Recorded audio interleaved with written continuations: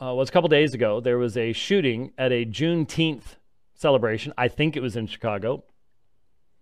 There were 54 people shot in Chicago over the weekend. Uh, five died. Someone was shot. And uh, so the paramedics arrived. And the video is of what happened to the, the paramedic vehicle, ambulance combination thing, whatever you would call that particular vehicle.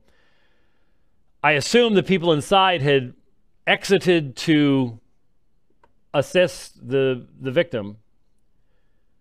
And a crowd develops around the vehicle. And once again, uh, almost naked black women begin twerking everywhere. She can still twerk for the Lord. Give God a praise. Uh, they even get on top of the vehicle and start twerking in various states of undress.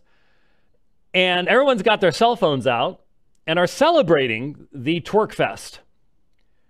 And the guys are getting involved by uh, doing what guys do um, when a woman is twerking.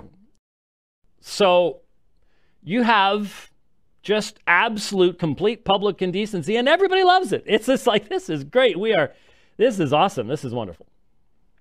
Okay, this is at a shooting. This, someone has been shot, and the community responds by twerking.